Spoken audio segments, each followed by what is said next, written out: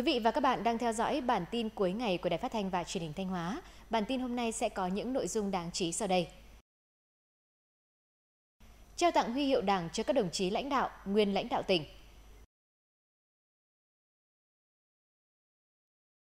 Số ca mắc COVID-19 trong cộng đồng tại Thanh Hóa gia tăng trở lại, một bộ phận không nhỏ người dân có tâm lý chủ quan trong phòng chống dịch. Thưa quý vị và các bạn, sáng nay, Ban Thường vụ tỉnh ủy đã tổ chức lễ trao tặng huy hiệu Đảng cho các đồng chí lãnh đạo, nguyên lãnh đạo tỉnh tròn 30 năm, 40 năm, 50 năm, 60 năm và 75 năm tuổi Đảng. Trong không khí trang trọng, phấn khởi và tự hào, đồng chí Bí thư tỉnh ủy Đỗ Trọng Hưng đã trao tặng huy hiệu 75 năm tuổi Đảng cho đồng chí Trần Đình Lăng, nguyên Ủy viên Ban Thường vụ tỉnh ủy, nguyên Phó Chủ tịch Ủy ban dân tỉnh. Huy hiệu 60 năm tuổi Đảng cho đồng chí Lê Bạch Lan, nguyên Ủy viên Ban Thường vụ tỉnh ủy, nguyên Chủ tịch Ủy ban Mặt trận Tổ quốc tỉnh. Huy hiệu 50 năm tuổi Đảng cho đồng chí Vũ Văn Tùng, nguyên Ủy viên Ban Thường vụ tỉnh ủy, nguyên chủ huy trưởng Bộ Chỉ quân sự tỉnh. Huy hiệu 40 năm tuổi Đảng cho đồng chí Trịnh Xuyên, nguyên Ủy viên Ban Thường vụ tỉnh ủy, nguyên Giám đốc Công an tỉnh. Thay mặt Ban Thường vụ tỉnh ủy, đồng chí Phó Bí thư Thường trực tỉnh ủy Lại Thế Nguyên đã trao tặng huy hiệu 30 năm tuổi Đảng cho đồng chí Đỗ Trọng Hưng, Ủy viên Trung ương Đảng, Bí thư tỉnh ủy, Chủ tịch Hội đồng nhân dân tỉnh. Đồng chí Phó Bí thư Thường trực tỉnh ủy Lại Thế Nguyên chúc mừng đồng chí Bí thư tỉnh ủy Đỗ Trọng Hưng và các đồng chí nguyên lãnh đạo tỉnh được tặng huy hiệu Đảng, đồng thời khẳng định đây chính là sự ghi nhận của Đảng đối với những công lao cống hiến của các đồng chí trong sự nghiệp cách mạng của Đảng và dân tộc cho sự phát triển đi lên của tỉnh nhà. Đồng chí Phó Bí thư Thường trực tỉnh ủy mong các đồng chí nguyên lãnh đạo tỉnh luôn giữ gìn sức khỏe, tiếp tục phát huy phẩm chất đạo đức cách mạng, tinh thần tiên phong gương mẫu và bề dày kinh nghiệm, tích cực tham gia xây dựng Đảng, xây dựng chính quyền vững mạnh.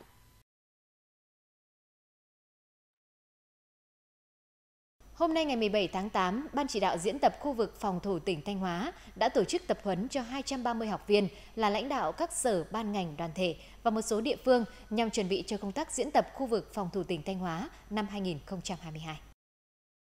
Phát biểu chỉ đạo lớp tập huấn, đồng chí Mai Xuân Liêm, Ủy viên Ban Thường vụ tỉnh ủy, Phó Chủ tịch Ủy ban dân tỉnh, Phó trưởng Ban tổ chức diễn tập khu vực phòng thủ tỉnh Thanh Hóa năm 2022 đề nghị các cấp các ngành và từng cá nhân tham gia tập huấn cần nhận thức rõ tầm quan trọng của nhiệm vụ diễn tập khu vực phòng thủ, nêu cao tinh thần trách nhiệm, tham gia nghiên cứu, học tập nghiêm túc các nội dung tập huấn, nắm vững mục tiêu, yêu cầu nhiệm vụ diễn tập, xác định đầy đủ nhiệm vụ của cơ quan đơn vị mình trong tác chiến khu vực phòng thủ, từ đó cụ thể hóa thành phương án, kế hoạch cụ thể, đồng thời chuẩn bị nội dung, xây dựng văn kiện diễn tập đủ về số lượng, đảm bảo chất lượng, sát với đặc điểm tình hình thực tế của từng địa phương đơn vị.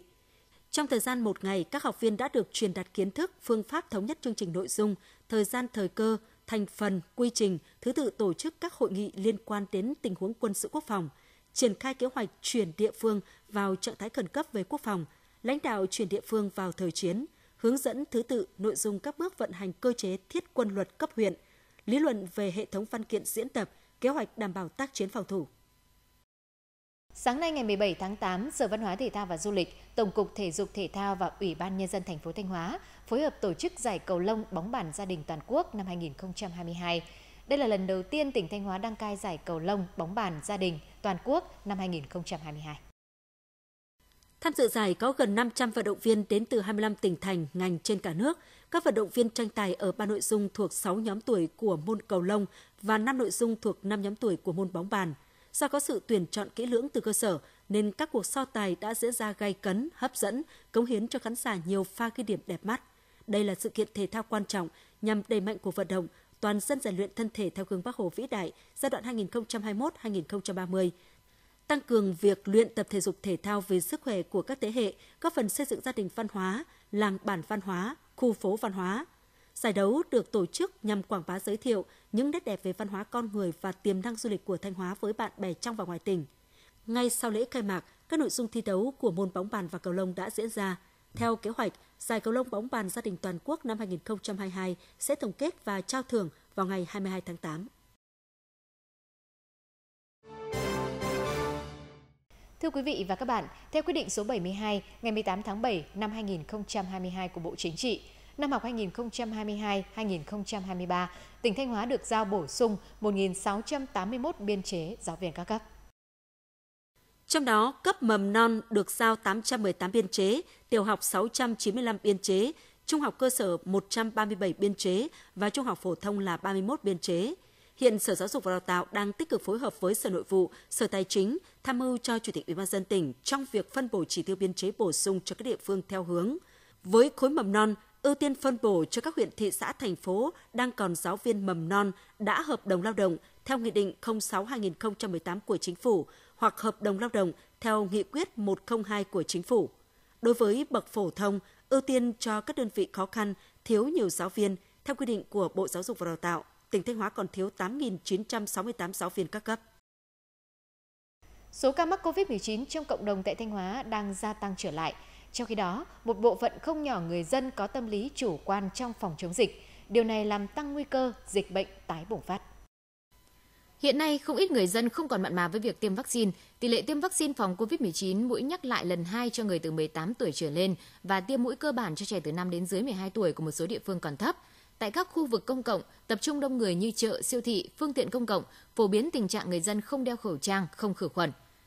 Thực tế, việc phòng chống dịch COVID-19 thời gian qua cho thấy, cả trong đỉnh dịch hay khi dịch bệnh được kiểm soát, thì vaccine vẫn là lá chắn phòng dịch hiệu quả. Những tổn thất vô cùng lớn của những đợt dịch trước vẫn còn đó, sự chủ quan lơ là sẽ phải trả giá đắt. Quan điểm chỉ đạo của các cấp đảng, chính quyền từ trung ương đến địa phương phải quyên quyết không để dịch COVID-19 bùng phát trở lại. Và muốn làm được điều đó thì phải toàn đảng, toàn dân, à, mọi người phải tập trung quyết liệt trong công tác phòng chống COVID-19, không chủ quan với cái đại dịch này. Số ca mắc COVID-19 đang gia tăng trở lại có thể sẽ khiến dịch bệnh bùng phát, nguy cơ xảy ra dịch chồng dịch. Do đó, mỗi người dân phải tự nâng cao ý thức phòng bệnh hơn chữa bệnh. Phòng bệnh từ sớm, từ xa, từ cơ sở, không để đến lúc dịch bùng phát mới lại giáo diết việc tiêm vaccine và các biện pháp phòng dịch khác. Bệnh viện Đa khoa tỉnh Thanh Hóa vừa triển khai thành công kỹ thuật đốt sóng cao tần và đốt laser điều trị giãn tĩnh mạch chi dưới. Đây là kỹ thuật tiên tiến với hiệu quả điều trị cao, tỷ lệ tái phát thấp. Bệnh giãn tĩnh mạch chi dưới là bệnh lý thường gặp nhưng ít được quan tâm. Bệnh gây ứ máu ở tĩnh mạch chi dưới làm cho người bệnh luôn bị tê, nhức mỏi chân, thường xuyên bị chuột rút, thậm chí có thể gây biến chứng tràm da, loét chân, nhiễm trùng da, khiến việc điều trị kéo dài, khó khăn và tốn nhiều chi phí. Trước kia để điều trị bệnh lý này, người bệnh phải gây mê để phẫu thuật với sự can thiệp xâm lấn nhiều, thời gian nằm viện lâu, để lại sẹo. Phương pháp mới đốt sóng cao tần điều trị giãn tĩnh mạch chi dưới mà bệnh viện Đa khoa tỉnh Thanh Hóa thực hiện có thời gian thực hiện thủ thuật ngắn, ít đau, thời gian phục hồi nhanh. Thì đây là một cái kỹ thuật là gần như là một trong rất ít cái tuyến tỉnh triển khai đầu tiên trong cả nước. Thì về mặt kỹ thuật này thì nó mang lại nhiều cái ưu điểm cho bệnh nhân. Cái cái mức độ uh, xâm lấn là tối thiểu là là ít nhất cái đường can thiệp nó có thể nhỏ chỉ bằng cái cái cái que tăm thôi đó và qua cái đường can thiệp nhỏ thế thì nó sẽ không để lại sẹo cho bệnh nhân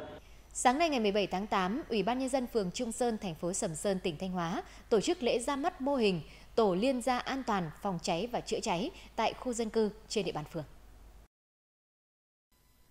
Tổ liên gia an toàn phòng cháy và chữa cháy tại phường Trung Sơn có 10 thành viên, đại diện cho 10 hộ ở phố Quang Giáp, đây sẽ là lực lượng phòng cháy chữa cháy tại chỗ ban đầu, được trang bị kỹ năng phòng cháy chữa cháy cơ bản, đảm bảo an toàn cho khu dân cư. Các hộ tham gia mô hình đều được trang bị các thiết bị phòng cháy chữa cháy cơ bản như bình chữa cháy, dụng cụ phá rỡ. Các thành viên trong tổ có nhiệm vụ tuyên truyền vận động, giáo dục thành viên gia đình và quần chúng nhân dân thực hiện tốt các quy định, tích cực tham gia các hoạt động phòng cháy chữa cháy và cứu nạn cứu hộ khi được cấp có thẩm quyền huy động.